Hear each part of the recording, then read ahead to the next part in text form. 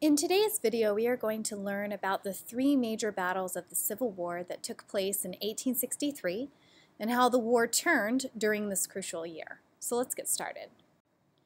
1863 at a glance. We're going to talk about the Battle of Chancellorsville, West Virginia becoming a new state, the Battle of Gettysburg, and the Battle of Vicksburg. Let's begin the Battle of Chancellorsville. The Battle of Chancellorsville took place in the state of Virginia in May of 1863. It was a huge Confederate victory, which may surprise you because look at how outnumbered the Confederate troops are compared with the Union soldiers involved 97,000 to 57,000. The Union general in this battle was General Joseph Hooker, who we have seen before. Abraham Lincoln put him in charge of the Union Army after he fired Burnside. The Confederate general in this battle was, of course, Robert E. Lee. Chancellorsville is actually considered Lee's greatest battle. He worked alongside his right hand man, Stonewall Jackson, to split his army into two parts to surround the Union forces. This clever maneuver outsmarted Hooker and his troops, making them think that they were that there were more of them than there actually were.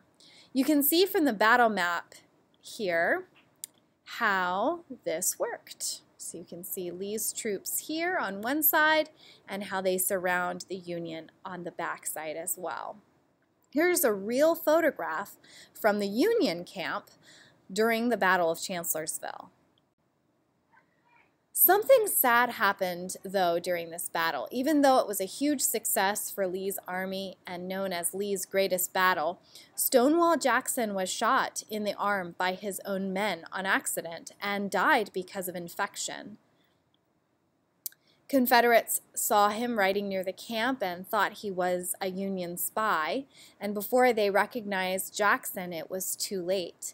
Stonewall Jackson did not die immediately, but died from pneumonia caused by infection because his arm was amputated. Oddly enough, you can find Jackson's arm buried in a separate spot from his grave, which you can vis go visit today.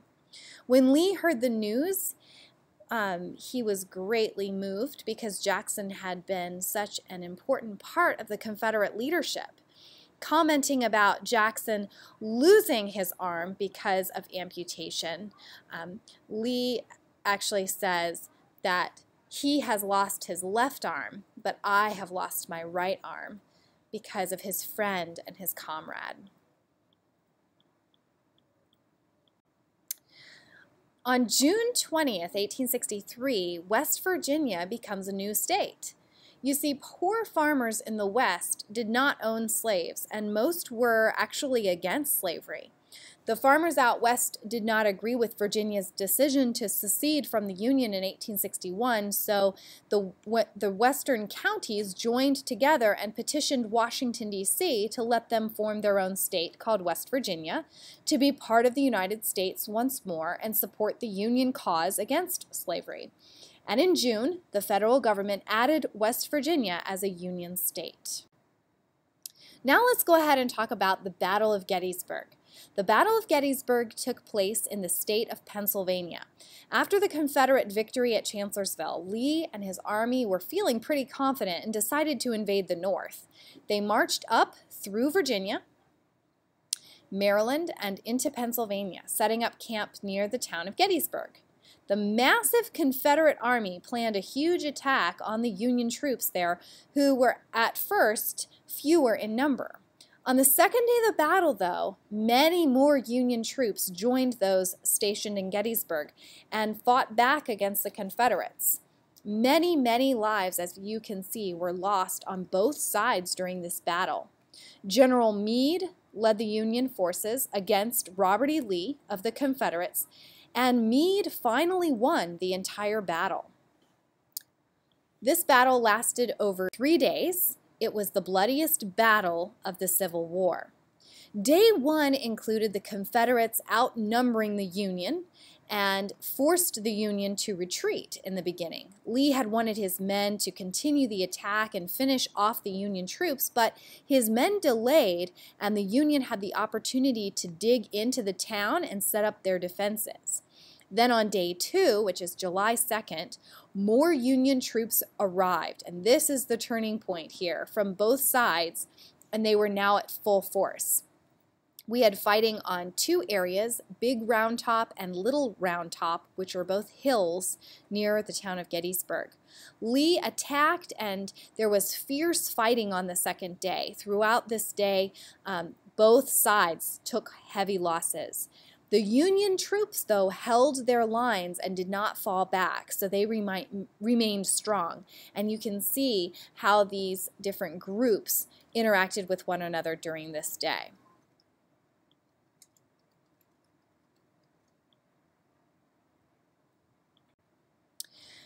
Now, Gettysburg is known as the turning point of the Civil War. And on the third day, General Robert E. Lee's last attempt was to break the Union line, and it ended in a disastrous failure, bringing the most decisive battle of the American Civil War to an end.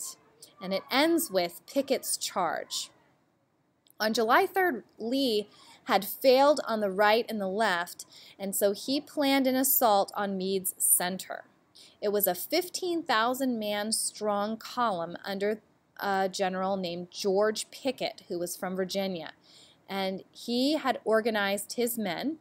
Lee ordered a massive bombardment of the Union positions, and they fired cannons for several hours before the charge.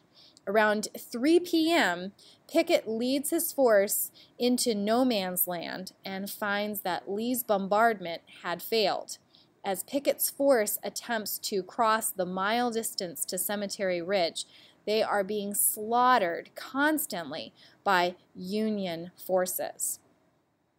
Um, let's see, only a few hundred Virginians end up reaching the Union line, and they are either captured or killed or uh, wounded severely. This was the last major offensive attack the Confederates tried before retreating and thus surrendering to the Union. The Union Army wins the Battle of Gettysburg, and this is a major thing. That's why Gettysburg is known as the turning point of the Civil War. From here on out, the Union start winning more and more battles than they lose, and the Confederates get weaker and weaker. The last battle, battle of 1863 that we're going to talk about is the Battle of Vicksburg.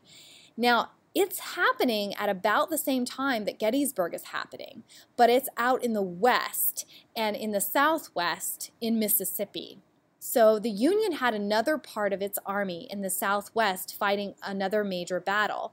It was headed up by Ulysses S. Grant the Union troops were fighting for control of the Mississippi River. The Battle of Vicksburg, Mississippi, also called the Siege of Vicksburg, was basically a culmination of a long land and naval campaign by Union forces to capture a strategic position along this river, which was a really big deal for the Union. You see, rivers were a way of transporting military weapons, food, and soldiers into the South for fighting battles. And if the Union controlled the river and did not let the Confederates use it, this would make the Confederates weaker. Grant's troops fought the Confederate troops under Pemberton. It took about a month of fighting at various places along the river, but um, finally, the Union troops do win. And that is why it's called a siege, because it takes many, many days and several little skirmishes during this battle to actually capture and control the river. And you can see um, some of the Navy there also fighting in conjunction with some land fighting. So Grant eventually is successful, marking another huge victory for the Union a huge victory. So we're going to end with that, that the Union has victory and the Mississippi River is now under the control of the Union and the North, and this is going to significantly affect the outcome of the Civil War.